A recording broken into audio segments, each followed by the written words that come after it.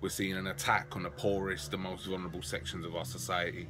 We're seeing a situation where they're introducing legislation and taxations that are supposed to be alleviating the housing crisis, i.e., the bedroom tax, that are leading more people into homelessness, that are leading to even suicides under the gross economic strain that working class people are facing in this country today. They claim austerity while we know they still claim 30, 40, even 50 pound lunches on our expenses. We know they still claim chauffeur. We know they still all have two two homes each.